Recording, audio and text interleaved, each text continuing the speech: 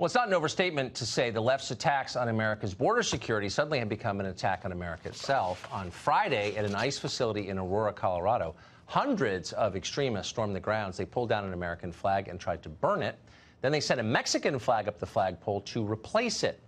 The display was awful and it was deeply revealing of their motives. But what happened on Saturday in Washington state was even worse than that. Willem von Spronsen, he was linked with the Antifa domestic terror movement, attacked an ICE facility in Tacoma. He was carrying an AR 15 and fire bombs. He torched several cars that apparently hoped to burn the facility to the ground. He was shot dead before he could kill anyone. Online, members of Antifa celebrated their fallen comrade. Facebook banned Alex Jones, as you know, because he's a hate monger. But Facebook has no problem hosting Antifa groups, including the Seattle Anti Fascist Action branch of Antifa. On Facebook, that group posted this quote, when our good friend and comrade Willem von Spronsen took a stand against the fascist detention center in Tacoma, he became a martyr who gave his life to the struggle against fascism. Today, we stand strong in our support for yet another martyr, martyr in the struggle against fascism. May his death serve as a call to protest and direct action. Keep in mind, it's a lunatic who showed up with, an, with a semi-automatic rifle, the kind they want to ban, by the way. Van Bronson may have failed, but others should imitate him in launching more terror attacks on American soil. That's what they're saying. Facebook doesn't have a problem with that, of course.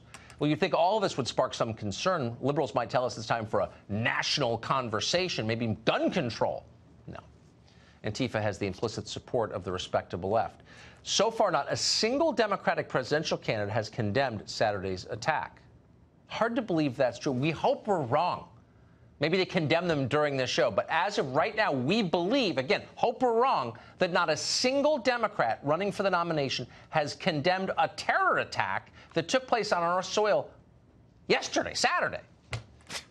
But why would they condemn it? They're on board with it.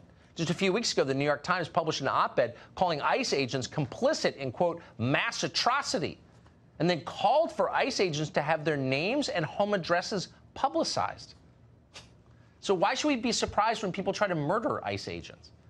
Kim Kelly, who describes herself as the labor columnist at Teen Vogue, pause for a second and just let the absurdity in. The labor columnist for Teen Vogue. That's how insane this moment is we're living in. Anyway, the labor columnist described Vance Spronsen's terror attack as, quote, righteous sabotage. She compared him to partisans fighting against the Nazis and then called for more terror attacks. Quote, as Van Spronsen and the many other heroic comrades before him have made clear, there are many ways to fight back against a violent fascist regime. Perhaps it's time for more of us to put our thinking caps on. The decadent rich really are unbelievable. And Kim Kelly is, of course, a member of the decadent rich. So is all of Antifa.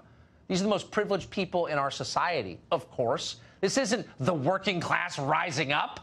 This is the ruling class punching down when Kim Kelly, by the way, isn't writing about the labor movement for teenage girls, she's also a contributor at NPR. You couldn't make this up. In other words, government funded news outlets are directly spreading the message of people who promote the murder of government officials.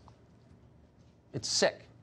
This country's laws cannot survive when powerful people endorse violence against those who enforce the laws. And a country can't survive when it's run by people who hate it.